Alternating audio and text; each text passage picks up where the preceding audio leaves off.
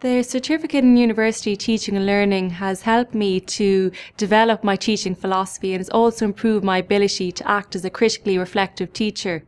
I now have a set of goals for my teaching and methods for achieving these goals. I also have a better understanding of how students learn, which enables me to be a much more effective facilitator of learning.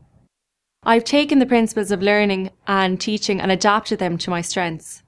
The certificate in university teaching and learning has had a direct and practical impact on how I teach.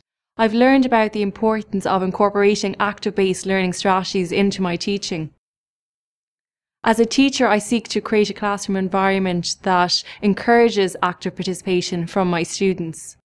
I aim to employ active learning strategies in all of my teaching sessions, such as class discussions, collaborative and peer learning groups, and obtaining students' reactions to videos.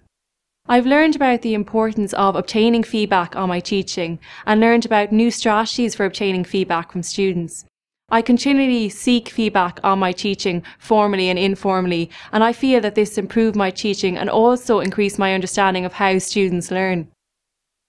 I've really enjoyed engaging in the scholarship of teaching and learning through the programme. A lot of research and theory has informed my teaching philosophy and practice. So, for example, research about new assessment strategies has informed my decision to employ peer assessments in one of my modules and I continue to inform and evaluate my teaching through the scholarship of teaching and learning.